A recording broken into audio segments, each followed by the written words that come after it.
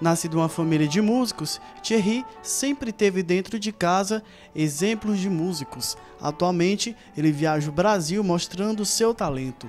Eu tenho meus dois pais são músicos, então para mim é como um caminho eh, natural de ir por la música.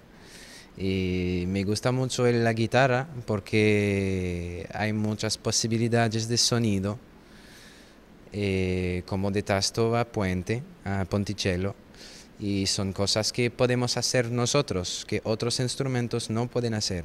Pueden hacer fortepiano, pero no pueden cambiar de color, de sonido. Eh, depende do instrumento. O repertório da noite, do clássico à música latino-americano, Thierry surpreendeu a todos com a precisão e a técnica no violão.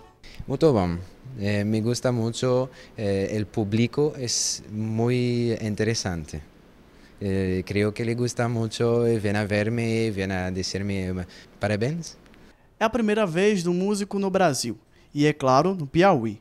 A apresentação durou uma hora e foi totalmente acústico. E bueno, me gusta muito tocar em Brasil, muito, muito.